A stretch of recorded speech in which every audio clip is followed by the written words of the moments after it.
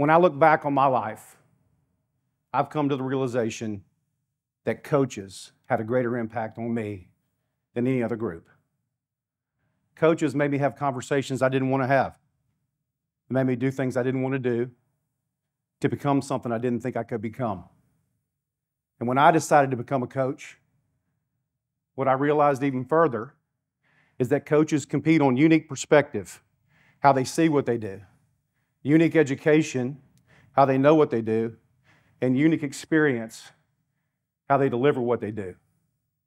Think about the great coaches in your life, the relationship that you have with them.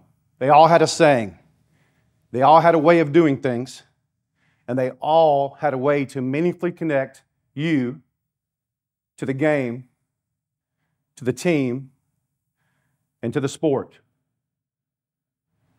The thing that I remember most about my coaches is that they knew how to communicate in short, powerful, emotionally compelling ways. And that led to deeper relationships and greater impact. My high school coach, Charlie Miller, would say to me, Be the hammer, not the nail. My college football coach called it leverage over leverage to win on the offensive and defensive line. When I started a college football team in 1998 with a guy named Norman Joseph, he said to me, Colby, my only job here is to help you take the next step. And Joe Calloway, who's a business coach to all of us and coaches the world, says things like, be the best at what matters most. And it sticks with you forever. It's the currency of great coaching.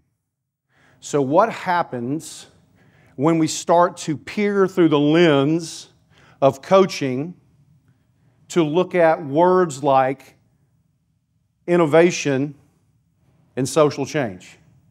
business buzzwords. What happens when we get into the soul of those words? I was born to two coaches, well, educators, who taught me the way you take on the world is to become an educator and marry an educator and educate other people. And so that's what I did. And that was in Mobile, Alabama, at a school called St. Paul's. I call Mobile and St. Paul's the womb of greatness. It's where Mardi Gras started and you realize at an early age, you can either get in the parade or you can stand in the sidewalk and watch.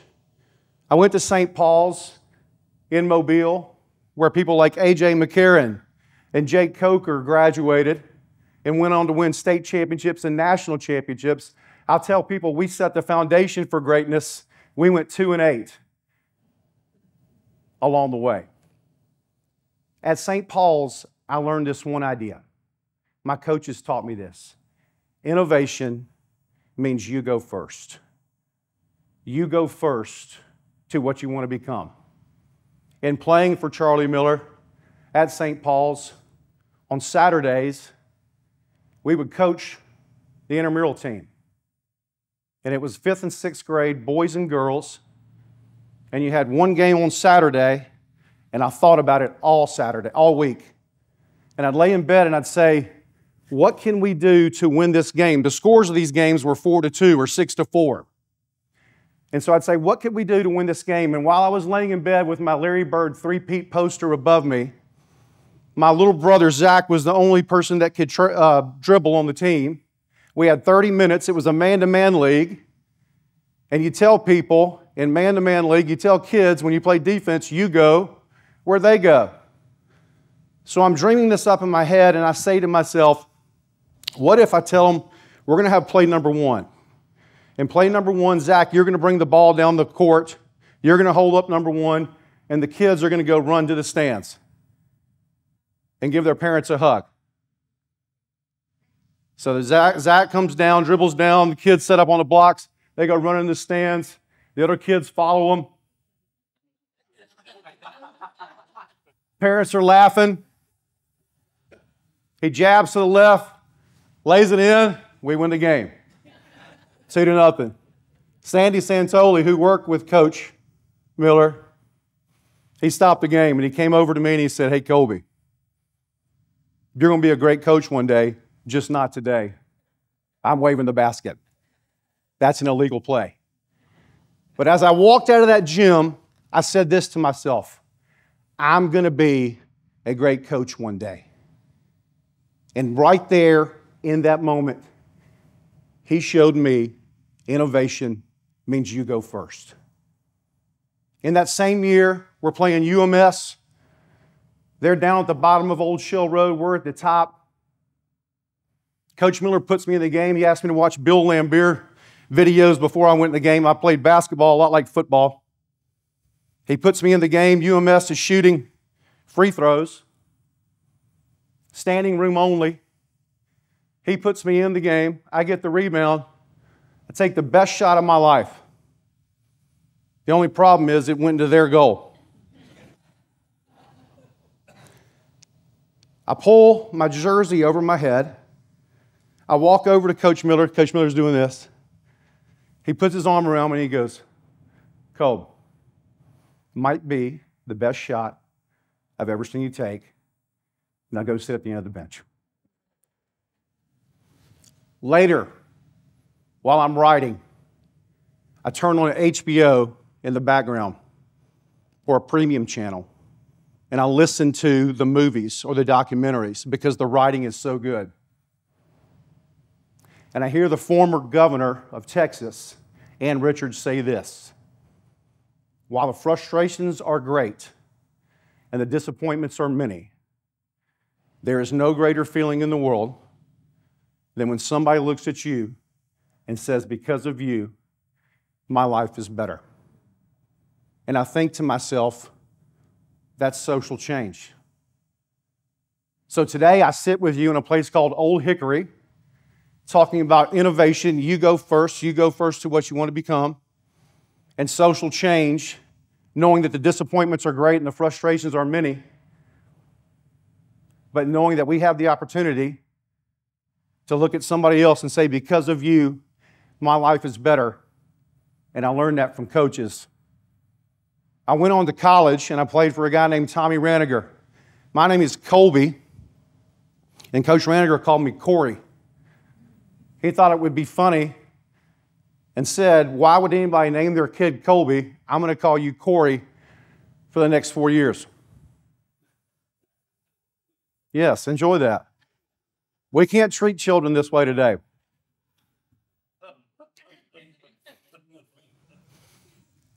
Every August 27th, I call my dad, who was a coach and a teacher. And I'd say, Dad, I can't do it anymore. And he'd say, Son, this is your choice, not mine. I'd go in there and I'd stare at Coach Raniger. I'd say, Coach, I don't want to play football anymore. He'd stare at me, which felt like an eternity. He'd say, Corey, Go down there, put on your pads. Be on the field in 15 minutes. This guy blamed me, one person, for losses against other teams, and I never quit.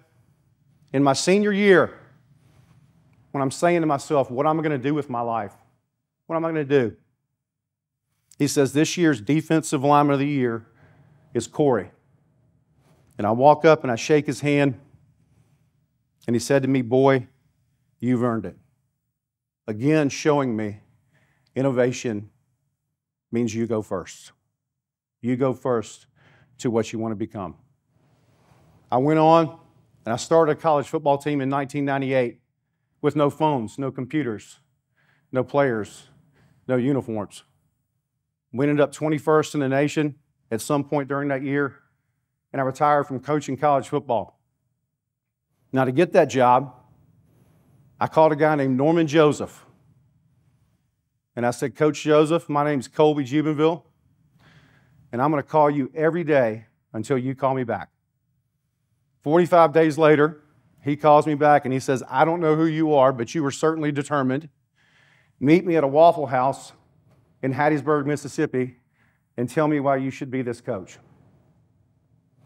The year before, I coached at Petal Middle School or Petal High School, the ninth grade team, and I got into that interview. And we've all interviewed before in our first job. Imagine interviewing for your first job in a Waffle House. So I'm interviewing in this, in this uh, Waffle House in Hattiesburg, And he says, Colby, it's clear to me that you don't know anything about coaching offensive line. And I said, No, not really. And he said, But here's what I do believe I do believe that you can help us, you can help us recruit the right people and win championships.